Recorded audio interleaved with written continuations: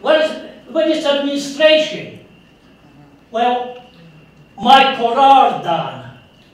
Thank you, sir. How can we trust him? Art Tannenbaum, then Mar- Maria Bautista, and then Simon Polakowski. Thanks, Todd.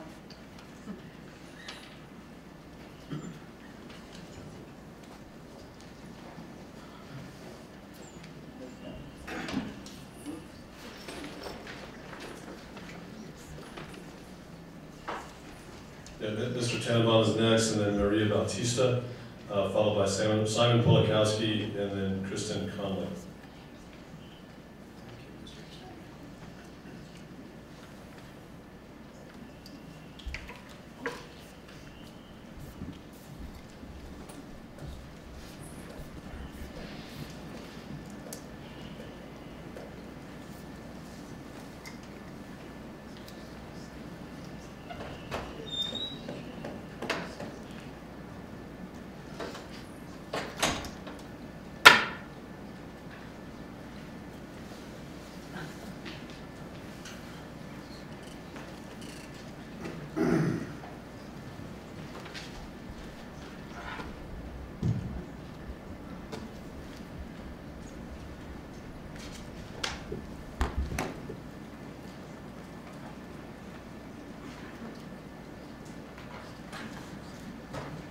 Mr. Chairman, members of the council, you're wasting my time.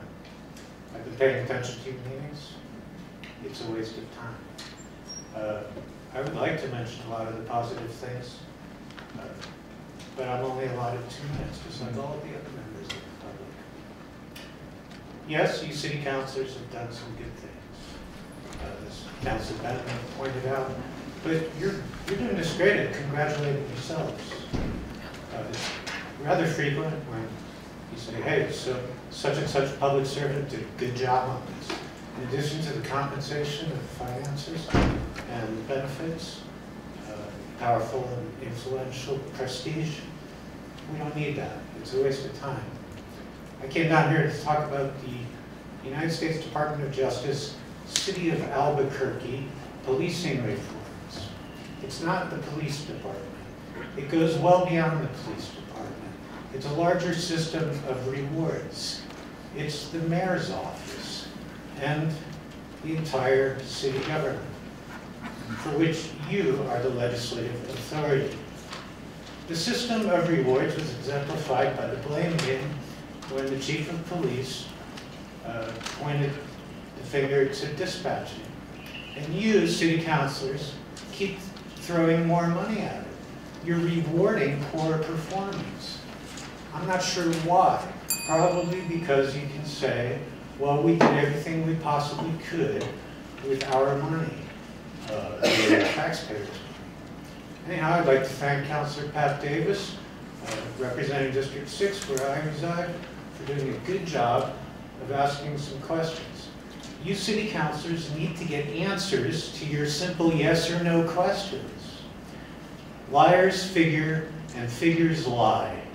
When Councilor Gibson asked for the number of dispatchers, it was a convoluted equation instead of a simple answer. And that's just an example. Thanks. Tannenbaum. Your time is up. Thanks for coming. So uh, Maria Bautista is next, and then Simon Polakowski and Kristen Conley. Thank you.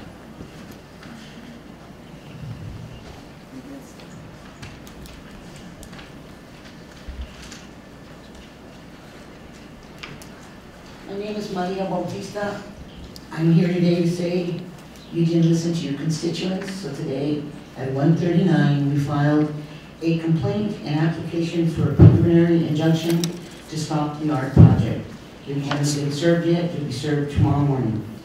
The city of Albuquerque, Richard Berry, Robert Perry, Bruce Brazieri, Michael Riordan, Albuquerque City Council, the United States Department of Transportation, the Federal Transportation Administration, and our regional trans, uh, uh, Federal Transport Administration for District Six. We've sued everybody, inclusive of our city council.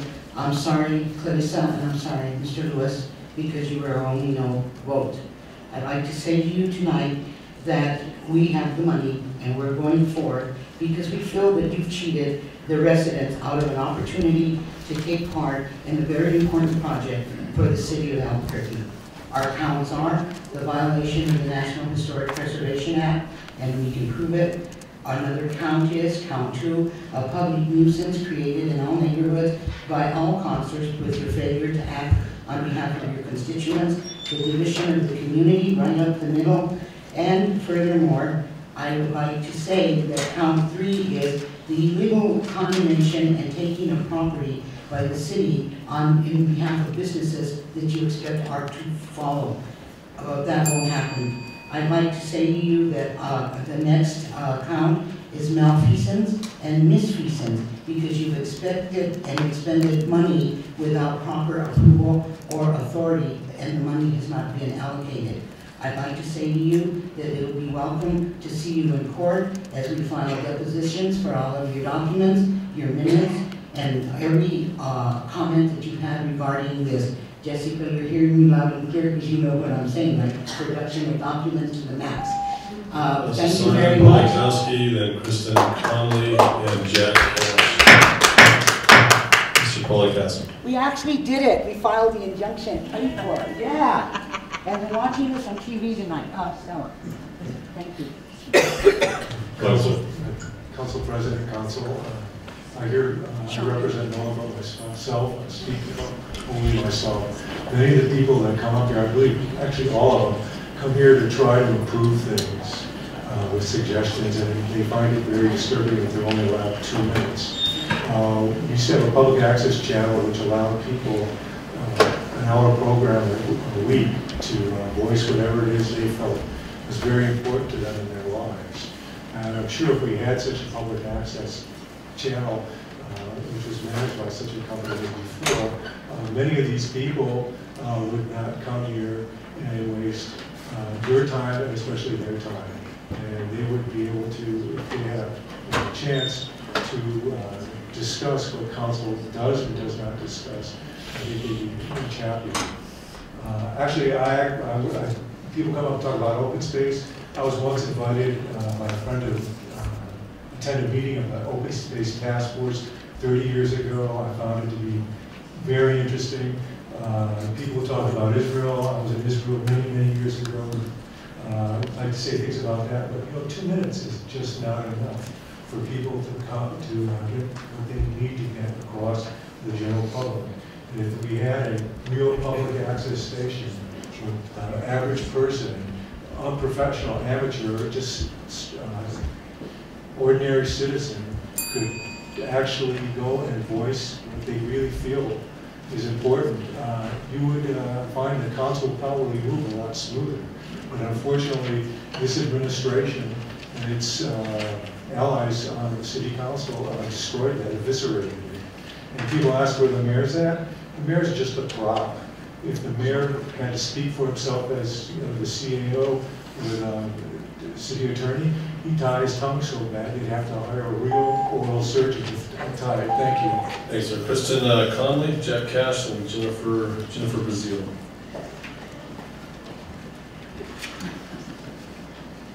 So Kristen Conley here? Kristen Conley's not here, so this is Jack Cash. Mr. Cash, welcome. Thank you very much. Thank you, um, members of the council, for hearing me tonight. Um, The purpose of of me speaking is I just simply wanted to uh, um, put my support behind the uh, changes to Angel's Law. Um, Back. Cash, thanks for waiting and taking the time to come down tonight. Uh, Hope you're doing, hope you're doing well and recovering, you know, from that attack to you know, the incident that you described that happened last year is one of the reasons why I'm very supportive of this, um, of this change the law, and uh, because I wish we would have had the ability last year to be able to remove those dogs. Thanks for coming in. We we appreciate everyone's support. Uh, Next is uh, Jennifer Brazil, and then uh, Joanne.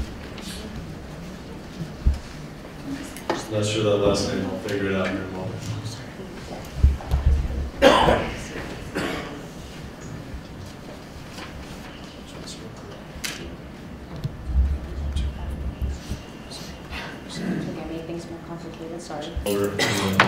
here. Uh, so our last speaker is uh, Mr. Alan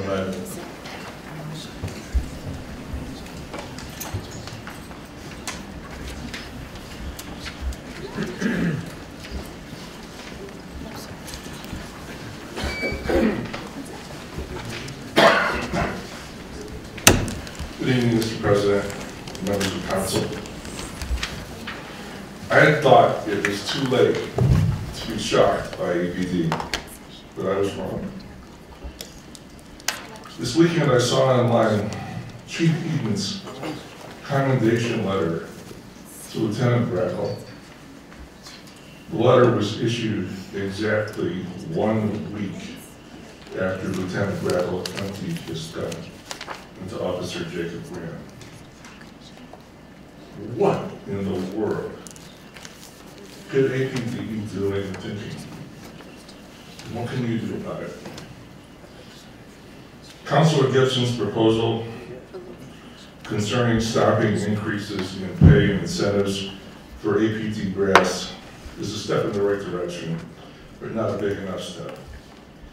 Barry, Perry, and Eden brought us the hiring of Huntsman, Gontryman, and Montano, promising that this would lead us to reform. We see the results. I propose you put into the budget a $3 million total payout to these six officials in exchange for their immediate resignations. At the current going rate, that's about half a lawsuit. And it will be money much better spent. I'm being a little flip, but just a little. You have in your hands the budget, which is basically your only tool to pressure the administration. Please think outside the box. Nothing will change until the administration feels the pain it inflicts upon the rest of us. And the only time you have the real power to do something about the administration is now, before you pass the budget. Thank you. That concludes public comment. We go to item 10 on the agenda, which are announcements. Councilor Davis.